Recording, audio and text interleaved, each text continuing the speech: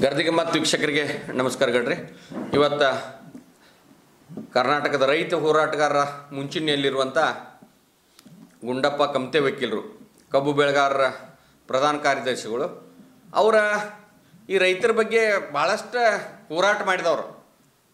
ಆದರೆ ರೈತರ ಎಷ್ಟೋ ಸಂಘಟನೆ ಮಾಡಿದ್ರೂ ನಮ್ಮ ಹಣೆಬರ ಇಷ್ಟ ಅಂತ ಮನ್ಯಾಗ ಕೂಡ ಅವ್ರ ಹೋರಾ, ಹೋರಾಟ ಮುಂದೆ ಇರ್ತೈತೆ. ಯಾವಾಗ ನೋಡಿದ್ರು ಈ ಮಳೆಗಾಲ ಬಂತಂದ್ರೆ ಯಾವ ಬೀಜ ಹಾಕಬೇಕು ಗೊಬ್ಬರ ಹಾಕಬೇಕು, ಕೃಷಿ ಇಲಾಖೆ ಕೆಲಸ ಏನ ಅವ್ರ ಅಧಿಕಾರಿಗಳ ಕೆಲಸ ಏನ ಮತ್ತು ಈ ಬೊಗಸ್ ಗೊಬ್ಬರ ಬೀಜಕ್ಕೆ ಏನು ಮಾಡ್ಬೇಕು ಅನ್ನೋದು ಭಾಳ ಬೆಳಿಗ್ಗೆ ಹೇಳ್ಬಿಡ್ದ ತಲೆಯಾಗಿರ್ತೈತೆ.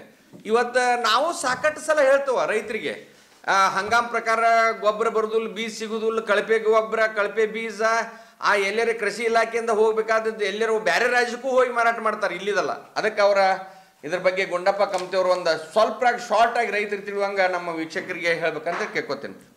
ಈಗ ಮುಂಗಾರು ಹಂಗಾಮ ಪ್ರಾರಂಭ ಆಗೈತ್ರಿ ಈಗ. ಈಗ ನಮಗ ಕೃಷಿ ಇಲಾಖೆಯಿಂದ ರೈತ ಸಂಪರ್ಕ ಕೇಂದ್ರಗಳ ಮೂಲಕ ಬೀಜಗಳನ್ನ ವಿತರಣೆ ಮಾಡ್ತಾರೆ. ವಿತರಣೆ ಮಾಡ್ತಾರೆ. ಇದಕ್ಕೆ ಬೀಜಗಳ ಸಂಶೋಧನೆ ಅಂತ ನಮ್ಮ ಅಗ್ರಿಕಲ್ಚರ್ ಯೂನಿವರ್ಸಿಟಿ ಐತಿ. ಅಲ್ಲಿ ಶಿಫಾರಸು ಮಾಡಿದಂತ ಬೀಜಗಳನ್ನ ಇವ್ರು ಕೊಡ್ತಾರೆ. ಅದನ್ನ ಕೊಡ್ತಾರೆ ಬೇರೆ ಕೊಡ್ತಾರೆ ಈಗ ಇಲ್ಲಿ. ಅಲ್ಲ ಈಗ ಇವ್ರು ಕೊಡೋದು. ಆದ್ರೆ ಈ ನಮ್ಮ ಕೃಷಿ ಇಲಾಖೆಯೊಳಗೆ ಪ್ರತಿ ಜಿಲ್ಲಾಕ್ಕೊಬ್ರು ಹ್ಞೂ ಜಂಟಿ ಕೃಷಿ ನಿರ್ದೇಶಕರ JD JD J D joint director of ಆರು ಏಳು ಜಿಲ್ಲಾಕ್ ಇರ್ತಾರೆ ಇಲ್ಲ ಇಲ್ರಿ ಜಿಲ್ಲಾಕ್ಕೊಬ್ರು ಆಮೇಲೆ ವಿಭಾಗೀಯ ಮಟ್ಟದೊಳಗೆ ಡೆಪ್ಟಿ ಡೈರೆಕ್ಟರ್ ಅಂತ ಇರ್ತಾರೆ. ಓಕೆ ರೀ. ಆಮೇಲೆ ತಾಲೂಕಾ ಮಟ್ಟದೊಳಗೆ ಅಸಿಸ್ಟೆಂಟ್ ಡೈರೆಕ್ಟರ್ ಅಂತ ಇರ್ತಾರೆ. ಓಕೆ ಆಮೇಲೆ ಪ್ರ- ಪ್ರತಿ ರೈತ ಸಂಪರ್ಕ ಕೇಂದ್ರದೊಳಗೆ. ಹೋಬಳಿ ಮಟ್ಟದ ಓಕೆ ಅಲ್ಲಿ ಒಬ್ರು ಕೃಷಿ ಅಧಿಕಾರಿ ಇರ್ತಾರೋ ಅವನ ಕೈಯಾಗ ಎಂಟರಿಂದ ಹತ್ತು ಜನ ಕೃಷಿ ಅಧಿಕಾರಿಗಳು ಇವರು ಸಹಾಯಕ ಕೃಷಿ ಅಧಿಕಾರಿಗಳು ಇರ್ತಾರೆ. ಇರ್ತಾರೆ ಇವರೆಲ್ಲರೂ ಏನು ಮಾಡ್ಬೇಕಪ್ಪ ಅಂದ್ರೆ ಹವಾಮಾನದ ಅನುಗುಣವಾಗಿ ನಮ್ಮ ಜಿಲ್ಲೆಯೊಳಗೆ ಹವಾಮಾನ ಯಾವ ರೀತಿ ಇರ್ತೈತಿ? ಯಾವ ರೀತಿ ಇರ್ತೈತಿ? ನಾವು ಎಂತ ಬೀಜ ಅವ್ರಿಗೆ ಕೊಡಬೇಕು ಕರೆಕ್ಟ್ ಇದು. ಅದನ್ನ ಮೊದಲು ನಾವು ಅನ್ನೋದನ್ನ ಶಿಫಾರಸ್ ಮಾಡ್ಬೇಕು. ಮೊದಲು ಸರ್ವೆ ಮಾಡಿ ಶಿಫಾರಸ್ ಶಿಫಾರಸ್ ಮಾಡ್ಬೇಕು. ಈಗ ಉದಾಹರಣೆಗೆ ಗೋವಿನ ಜೋಳ. ಗೊಂಜಾಳ, ಗೊಂಜಾಳ. ಗೊಂಜಾಳ. ನಮ್ಮಲ್ಲಿ ಹೆಚ್ಚು ಬೆಳೆಯುವಂಥದ್ದು ಗೊಂಜಾಳ. ಗೊಂಜಾಳದೊಳಗ ಸಾವಿರಾರು ಕಂಪನಿಯವರು ಪ್ರೊಡಕ್ಷನ್ ಮಾಡ್ತಾರೆ. ಇವ್ರು ಯಾವ ರೀತಿ ಮಾಡ್ತಾರ ಅಂದ್ರೆ ಯಾರು ಹೆಚ್ಚು ಕಮಿಷನ್ ಇವ್ರಿಗೆ ಕೊಡ್ತಾರಲ್ಲ. ಇವ್ರಿಗೆ ಅಧಿಕಾರಿಗಳಿಗೆ. ಅಧಿಕಾರಿಗಳಿಗೆ ಆತು ಇಲಾಖೆ ಹಾ ಅಧಿಕಾರಿಗಳು ಮಂತ್ರಿ ಹಿಡ್ಕೊಂಡು ಎಲ್ಲಾ ಬಂದ ಎಲ್ಲರಿಗೂ ಬಂತು. ಯಾರು ಹೆಚ್ಚು ಕಮಿಷನ್ ಕೊಡ್ತಾರಲ್ಲ ಅಂತ ಕಂಪ್ನಿಗಳಿಗೆ ಇವ್ರು ಶಿಫಾರಸು ಮಾಡ್ತಾರೆ. ಇಲ್ಲಿ ಇವು ಎಲ್ಲ ಬೀಜಗಳು ಬೀಜಗಳು ಅವು ಬೀ ಆ ಬೆಳೆ ಬೀಜ ಹಾಕಿದ ನಂತರ ರೈತ ಬೀಜ ಹಾಕಿದ ನಂತರ ಬೆಳೆ ಯಾವ ರೀತಿ ಬರ್ತೈತೆ ಅನ್ನೋದನ್ನ ವಿಚಾರ ಇಲ್ಲ. ಒಟ್ಟ ಇಲ್ಲ. ಅವ್ರು ಮುಟ್ಟದ್ ಮುಟ್ರೆ ಮುಗಿದು ಮುಟ್ಟದ್ ಮುಟ್ರೆ ಮುಗಿದು ಅದು ಬೇಕಾರೆ ನಾಟ್ಲಿ ಬೇಕಾದ್ರೆ ಏನ್ ಬೇಕಾದಾಗ್ಲಿ. ಓಕೆ ಒಂದ್ ವೇಳೆ ನಾಟಿತಂದ್ರ ಅದು ನಮ್ಮ ರೈತರು ಸುದೈವ. ಅಂದ್ರೆ ಅದ ಅವ್ರ ಲಕ್ ಲಕ್ಕನ ಅವ್ರ ಲಕ್ ಅನ್ನ ಓಕೆ ಆ ನಾಟಿದ ಬೆಳಿ ಉದಾಹರಣೆಗೆ ಹೇಳ್ಬೇಕಂದ್ರೆ ಗೊಂಜಾಳ್ರಿ ಹ್ಮ್. ಸಾಧಾರಣ ಎವರೇಜ್ ಮೂರ್ ನಾಲ್ಕರಿಂದ ಐದು ಫೂಟ್ ಬರ್ಬೇಕ ಹ್ಮ್ ಬರ್ಬೇಕು. ಹ್ಞೂ ಹ್ಞೂ ಈಗ ಇವ್ರು ಕೊಡುವಂತ ಬೀಜಗಳ ಎಂಟೆಂಟು ಫೂಟ್ ಎತ್ತರ ಹೋಗ್ತಾವ ಅಂದ್ರೆ ಮಳಿ ಗಾಳಿಗೆ ಬಿದ್ದು ಹೋಗ್ಬೇಕಾದ? ಅಂದ್ರ ಎಂಟು ಫೂಟ್ ಎತ್ತರಕ್ಕೆ ಗೊಂಜಾಳ ಹೋತಂದ್ರ ಆ ಗೊಂಜಾಳ ಈ ಮುಂಗಾರ ಹಂಗಾಮಿನೊಳಗ ಮಳಿ ಗಾಳಿಗೆ ಬಿದ್ದು ಸತ್ಯನಾಶ ಆಕತಿ ಅದಕ್ಕೆ ಪರಿಹಾರ ಅಂತೂ ಯಾರು ಕೊಡುದಿಲ್ಲ. ರೈತ ಕಷ್ಟಪಟ್ಟು ಬೆಳೆದ ಎದಕ್ಕೆ ಬಂತು? ಓಕೆ. ಆಮೇಲೆ ಸೋಯಾಬೀನ್ ಅಂತ ಬಿಡುಗಡೆ ಮಾಡಕತ್ತಾರೆ. ಸೋಯಾಬೀನ್ ಸೋಯಾಬೀನ್ ನನ್ನ ಇದ್ರ ಪ್ರಕಾರ ಮೊನ್ನೆ ಒಬ್ಬ ರೈತ ಫೋನ್ ಮಾಡಿದ್ ನನಗೆ. ನನ್ನ ಹೊಲದಾಗನ ತಗೊಂಡು ಹೋಗಿ ಬೀಜಗಳನ್ನ ತಗೊಂಡು ಹೋಗಿ ಅದನ್ನ ಬ್ಯಾರೆ ಚೀಲದಾಗ ಹಾಕಿ ಅದನ್ನ ಪ್ಯಾಕ್ ಮಾಡಿ ಕೊಡ್ತಾರ್ರಿ. ನಮ್ಮಲ್ಲಿ ಹಿಂಗ್ ಕಡಿಮೆಲೆ ತಗೊಂಡ್ ನಾನು ನಾಲ್ಕು ಪಟ್ಟು ಹೆಚ್ಚು ಮಾಡಿದಾರ ಅದಂತೂ ಕಾಮನ್ ಐತಿ ಓಕೆ ರೀ. ಜನರಲ್ ಆಗಿ ನಡೆದ. ಹೆಸರನ್ನು ಹಿಂಗ ಮಾಡ್ತಾರಂತ. ಹೌದ್ರಿ.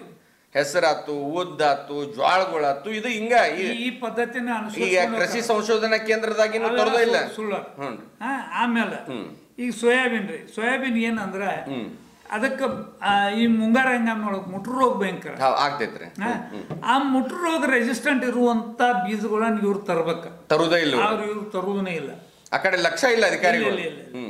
ಇವನ್ನ ನಮ್ಮ ರಾಜ್ಯದೊಳಗ ರಗಡ ಉತ್ಪಾದನೆ ಮಾಡಕ್ ಸಾಧ್ಯತೆ ಇದ್ರೂ ಸಹಿತ ಕೃಷಿ ಸಂಶೋಧನಾ ಕೇಂದ್ರಗಳಿದ್ರೂ ಸಹಿತ.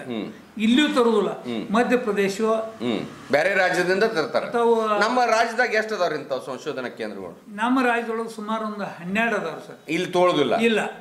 ಮಧ್ಯಪ್ರದೇಶ ಎಲ್ಲ ಆ ಕಡೆ ಬೇರೆ ರಾಜ್ಯದಿಂದ ರಾಜ್ಯದಿಂದ ತರ್ತಾರ. ಅದು ಪ್ರೈವೇಟ್ ದವ್ರ ಕಡೆ. ಈ ಸ್ಟೇಟ್ ಸರ್ಕಾರದ ಅಧಿಕೃತ ಕಡೆ ಇಲ್ಲಿ ಇವ್ರು ಇಲ್ಲ. ಅಲ್ಲಿ ಸರ್ಕಾರ ಅವ್ರು ಏನ್ ಮಾಡ್ತಾರ್ರಿ? ಈಗ ಎಕ್ಸಾಂಪಲ್ ಧಾರವಾಡಕ್ಕೆ ಒಂದು ಕೃಷಿ ಸಂಶೋಧನಾ ಕೇಂದ್ರ ಐತಿ. ಅಲ್ಲಿ ಅವ್ರು ಬೀಜ ಸಂಸ್ಕರಣೆ ಮಾಡ್ತಾರೆ. ಅವ್ರ ಇವ್ರಿಗೆ ಕೊಡುದಿಲ್ಲ. ಅವ್ರು ಬೇರೆ ರಾಜ್ಯ ಕೊಡ್ತಾರೋ ಇಲ್ಲ ಇಲ್ಲ ಇವ್ರಿಗೆ ಕೊಡುದಿಲ್ಲ. ಡೈರೆಕ್ಟ್ ರೈತರು ಕೊಡ್ತಾರ. ಅಲ್ಲಿಂದ ರೈತರು ಏನು ಒಯ್ತಾರಲ್ರಿ? ಅವ್ರಿಗೆ ಒಂದು ಸ್ವಲ್ಪ ಒಳ್ಳೆ ಬೀಜ ಸಿಗ್ಬೋದು. ಓಕೆ ರೀ. ಆದ್ರೆ ಅವು ಲಿಮಿಟೆಡ್ ಇರ್ತಾವ ಲಿಮಿಟೆಡ್ ಇರ್ತೈತಿ. ಅಲ್ಲಿ ಈಗ ಅತನಿ ತಾಲೂಕಿನವರು ಅಂತವ್ರೆಲ್ಲ ಹೋಗಿ ದಾಡು ತಗೊಂಬ ಅಂದ್ರೆ ಇಟ್ ಇಸ್ ಐಲಿ ಇಂಪಾಸಿಬಲ್ ಆಗೋದಿಲ್ಲ ಅವ್ರಿಗೆ ಆಗೋದಿಲ್ಲ. ಹೋಗಕ್ಕಾಗೋದಿಲ್ಲ ಅದಕ್ಕೆ ನಾವು ನಾವು ರೈತರ ಇಲ್ಲೇ ಬೆ ಸಿಗುವಂಥ ಬೀಜಗಳಿಗೆ ನಾವು ಗಂಟು ಬಿಡ್ಬೇಕು ಆಮೇಲೆ ಇವೆಲ್ಲ ಕಳಪೆ ಬೀಜಗಳು ಅದಾವ ಅಂತ ಅನ್ನೋದನ್ನಂತೂ ಜಗತ್ ಜಾಹೀರಾಗೈತಿ. ಅದೇನು ಬೆಳಗ್ಗೆ ಸೂರ ಸುರ ಬೀತಿದ ಹದಿನೈದು ಇಪ್ಪತ್ತು ದಿವಸದಿಂದ ಚಲೋ ಚಾಲೋನೇ ಚಾಲು ಐತಿ. Okay. ಆಮೇಲೆ ರಸಗೊಬ್ಬರ ಈಗ ಹೆಸರಾಂತ ಕೆಲವೊಂದು ಕಂಪ್ನಿಗಳದಾವ ಜುವಾರಿ ಇಫ್ಕೋ ಆಮೇಲೆ ಮಂಗಳ ವಿಜಯ. ಇಂಥವೇನದಾರಲ್ಲ.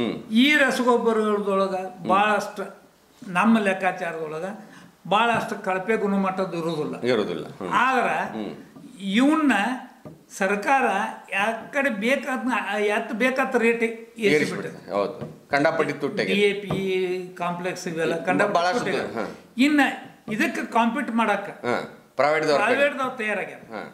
ಅವ್ರು ಏನು ಮಾಡ್ತಾರಂದ್ರೆ ಉಸಿಗಿಗೆ ಬಣ್ಣ ಹಾಕಿ. ಹಣ್ಣು ಬರಟ್ಟಿ ಜಿಪ್ಸಮ್ ಟೈಪ್ ಹಣಬರಟ್ಟಿ ಜಿಪ್ಸಮ್ ಟೈಪ್ ಮಾರಾಟ ಮಾಡ್ತಾರೆ. ಓಕೆ ಅದನ್ನ ಮಾರಾಟ ಮಾಡಕ್ಕೆ ಏನು ಏಜೆನ್ಸಿ ಕೊಡ್ತಾರಲ್ಲ? ಅಥವಾ ಡೀಲರ್ ನೇಮಕ ಮಾಡ್ತಾರಲ್ಲ? ಅವರಿಗೆ ಮಾರಾಟ ಅವ್ರು ಯಾವ ರೀತಿ ಮಾರಾಟ ಮಾಡ್ತಾರೆ ಅದ್ರ ಮೇಲೆ ಕಮಿಷನ್ ಫಿಕ್ಸ್ ಪರ್ಸೆಂಟೇಜ್ ಹೊರದೇಶ ಕಳಿಸೋದಾತು ಮುಂದೆ ಅವ್ರ ಅಕೌಂಟ್ಗೆ ಡೈರೆಕ್ಟ್ ಅನ್ನ ಬಿಡ್ರಿ.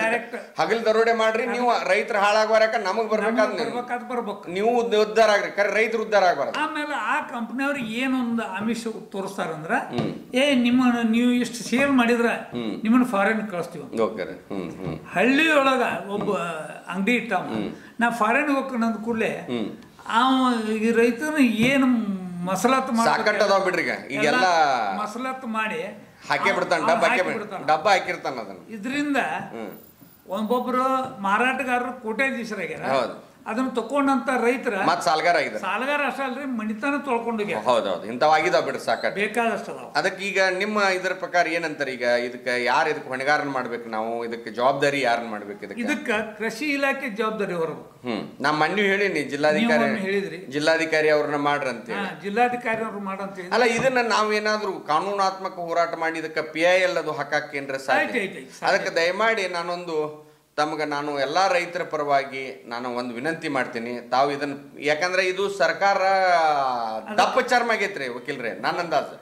ಇದನ್ನ ಯಾರು ಹೇಳಿದ್ರು ಕೇಳೋ ಪರಿಸ್ಥಿತಿ ಒಳಗೆ ಯಾಕಂದ್ರೆ ಅಧಿಕಾರಿಗಳು ಶಾಮಿಲ್ಲ ರಾಜಕಾರಣಿಗಳು ಶಾಮಿಲ್ಲ ಡೀಲರ್ಗಳು ಶಾಮಿಲ್ಲ ಇದೆಲ್ಲ ಒಂದು ವ್ಯವಸ್ಥೆನ ಬದಲಾವಣೆ ಮಾಡ್ಬೇಕಾದ್ರೆ ಇದಕ್ಕೊಂದು ಪಿ ಐ ಎಲ್ ಯಾಕೆ ತಾವು ಇದನ್ನ ನಮ್ಮ ವಿನಂತಿ ಪ್ರಕಾರ ತಾವೊಂದ ಇದಕ್ಕೊಂದು P I P I L ಹಾಕಿರಿ ಹೆಂಗ? ತಾವು ಪಿ ಐ ಎಲ್ ಹಾಕೋ ಹಾಕುವ ಒಂದು ವ್ಯವಸ್ಥೆನ ಮಾಡ್ಬೇಕಂತ ಹೇಳಿ ನಾನು. ಹಾಕಬಹುದು sir. Hmm. P I L ಹಾಕಬಹುದು. ಆದ್ರೆ ಅದಕ್ಕೆ ಜನಬೆಂಬಲನೂ ಬೇಕು. ಹ್ಮ್. ಇಲ್ಲ ಈಗ ವಾಹಿನಿ ಒಳಗ ನಮ್ಮ ಈ ಒಂದು ಈ ಒಂದು ಈಗ ಎಪಿಸೋಡ್ ಆದ್ಮ್ಯಾಗ ಎಷ್ಟು ಮಂದಿ ಇದಕ್ಕೆ ಕಮೆಂಟ್ ಮಾಡ್ತಾರ ನೋಡೋಣ. ಈಗ ಈಗ ಈ ಕಮೆಂಟ್ ಅವ್ರ ಬಹಳಷ್ಟು ಜನ ಜಾಗೃತಾಗಿ ನಾವು ಬೆಂಬಲ ಕೊಡ್ತೇವೆ ಅಂದ್ರೆ ನಾವು ನಿಮ್ ಜೊತೆ ಇರ್ತೇವೆ. ಒಂದು ಪಿ ಐ ಎಲ್ ಅನ್ನ ಹಾಕಬೇಕು. ಈ ಒಂದು ರೈತ ಪರವಾಗಿ ಕಾಳಜಿ ಇದ್ದ ನೀವು ನಮ್ಮ ಈ ವಾಹಿನಿಗೆ ಬಂದಿದ್ದಕ್ಕಾಗಿ ಧನ್ಯವಾದಗಳು. ಎಷ್ಟು ಮಂದಿ ಕಮೆಂಟ್ ಮಾಡ್ತಾರೋ ಎಷ್ಟು ಮಂದಿ ಶೇರ್ ಮಾಡ್ತಾರೋ ಎಷ್ಟು ಮಂದಿ ನೋಡ್ತಾರೋ ಅದ್ರ ಮ್ಯಾಗ ಒಂದು ಡಿಸಿಷನ್ ತಗೊಳ್ಳೋಣ. ನಮಸ್ಕಾರ ನಮಸ್ಕಾರ.